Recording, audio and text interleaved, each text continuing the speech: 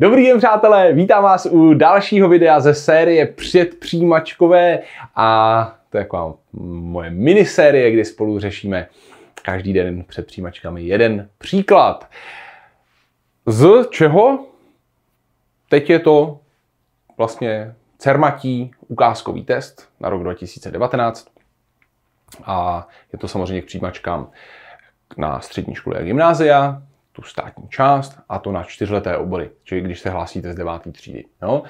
Pokud se hlásíte z nižší třídy, třeba na šestiletý gimply, jo, ze sedmý, tak, eh, tak se samozřejmě můžete dívat taky jo, a naučíte se něco a zopáknete si spoustu z těch věcí, který oni k těm přijímačkám jako pro deváťáky chtějí, tak samozřejmě chtějí i, i po nižších ročnících. Jo?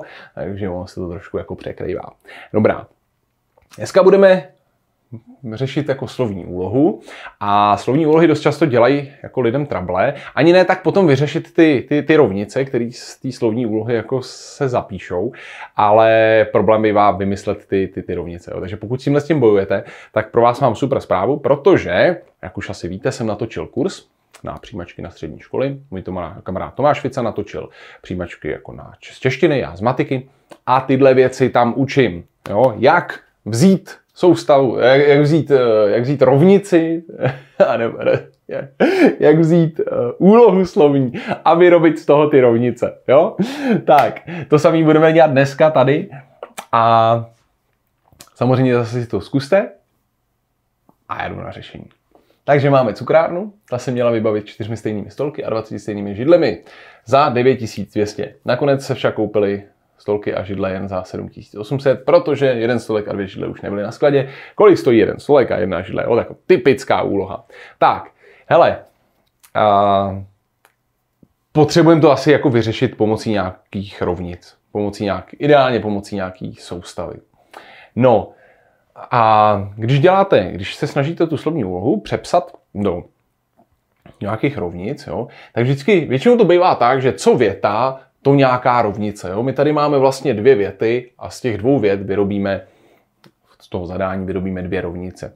A stačí vlastně jako si to, si to dobře rozmyslet a Většinou to bývá tak, že klíčem k řešení slovní úlohy je správně si označit neznámý. Jo? A většinou ty neznámí bývají to, na co se nás ptají. Čili kolik stojí jeden, jedna, jeden stolek a jedna židle. Jo? Takže my si třeba označíme cenu stolku jako s a cenu židle jako z. Jo? A pozor, to není stolek nebo počet těch stolků. Jo? Je, to, je to cena stolku. Jo? A tohle je cena židle. Je důležitý, aby se vám to, to pak nepomíchalo. Jo? A ještě dám takovou jednu radu. Vždycky, když občas vidím lidi jako si označovat ty neznámý jako XY, jo? a pak si nepamatuju, co je co a hrozně blbě se jim píšou ty rovnice. To znamená, doporučuju ty, ty neznámí si označovat písmenkama, které reprezentují to, co, to, co představují. Takže když je to cena stolku, tak s, stolek, jo? židle z. Klidně bychom mohli dát jako CE, CS, jo? cena stolku, CZ, cena židle by byla prostě ta neznámá. Hm? Dobře, tak jo, a teď zapíšeme ty rovnice. Ta první rovnice se bude týkat toho, co se chtělo udělat. Jo? Chtěli jsme koupit, a, a budeme se vlastně bavit o těch penězích. Jo? Bude to vycházet z těch peněz. Chtěli jsme něco koupit za 9200. A co jsme chtěli koupit? No chtěli jsme koupit 4 stolky a 20 židlí. To znamená, kolik bych utratil za jednu židli? No za jednu židli bych utratil Z.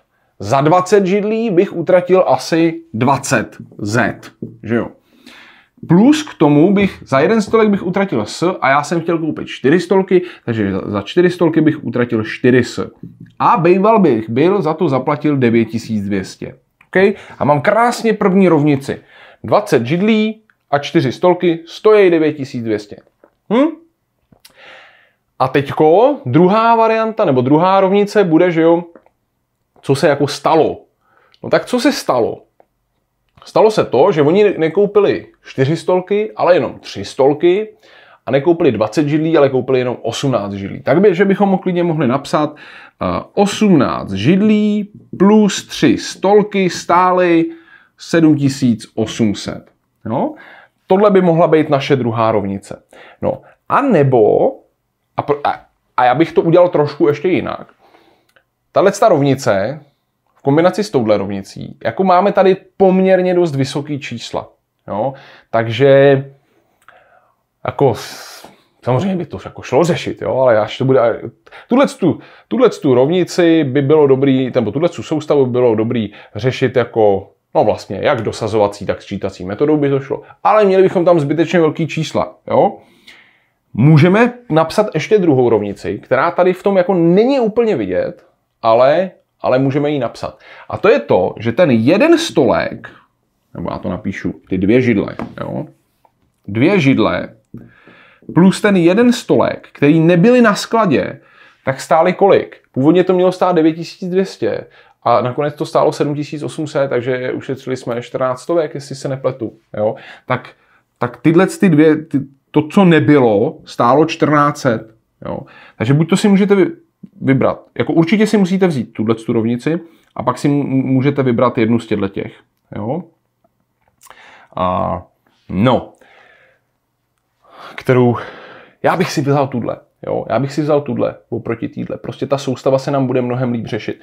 Takže si vezmeme tyhle ty dvě rovnice a já si takhle přepíšu 2z plus s rovná se 1400. Jo? Proč je to fajn, že jo, takhle si to jako napsat, no protože teď tady krásně můžu vyjádřit S pomocí dosa- a použít dosazovací metodu a a prostě dosadím to do té horní rovnice. Jo? Takže odsaď si vypočítám, že S se rovná 1400 minus 2Z. No, dosadím to sem, že jo?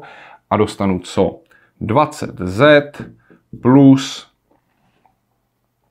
4 krát ten stolek. Že jo? Stolek je 1400 minus 2Z rovná se 9200. A už to nějak jako dopočítám. Jo? Pokud potřebujete jako soustavy rovnic a, a slovní úlohy a tak dále zopáknout, tak se mrkněte na ten můj kurz, dělám to tam opravdu jako pořádně a důkladně. Jo?